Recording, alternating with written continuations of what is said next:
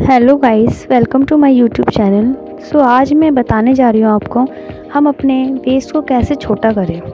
अगर गलती से आपसे वेस्ट बड़ा कट जाता है तो छोटा वेस्ट करने के लिए आपको लाइनिंग वाला पार्ट छोटा करना है। तो उसको आप पहले लहंगे के ऊपर रखते हैं और जिस तरीके से मैं काट रही हूँ, उस तरीके से आप उस अस्तर को काटें वेस्ट को लेके। एंड इसको धीरे धीरे काटें और ध्यान रहे कि आप अस्तरी लाइनिंग ही काटें, कपड़े को ना काटें। और कैंची आप बड़ी ले लेना जिससे कि आप अच्छे से काट सको। अब इसको हमने काट दिया है और वेस्ट के हिसाब से हमने बराबर कर दिया है। और ना आपको धागे इस तरीके से डाल देनी है, जिससे कि आपका धागा बीच में ख़त्म ना हो जाए।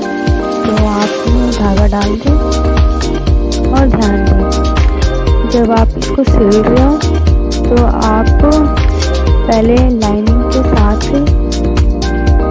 अंदर की फैब्रिक को एक साथ अटैच करके सिल दें ताकि आपका कपड़ा इधर ना भागे तो हमने सिल दिया है। अब इन दोनों को सिलने के बाद देख लें कि वेस्ट का पार्ट और नेट का पार्ट सेम है या नहीं। और काटते ही आपको इधर कहीं कहीं पर आपको पीठ दे देनी है, जिससे कि आपकी वेस्ट बराबर हो जाए। जैसे कि मैंने यहाँ दे दिया है। और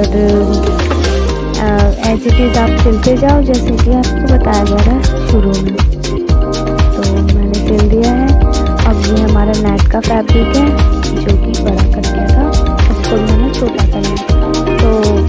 के जो फ्रंट फ्रंट होता है वेस्ट का वहाँ से आप पिनअप कर लें और बैक में आप प्लेट डाल दें। और मैं वॉल पिन का यूज़ करके पिनअप कर रही थी वैसे आप पिनअप करके उसको धीरे धीरे सिल जाए पिन काट हो जाए लो हमारे के बाद तैयार हो गया है। Thanks for the watching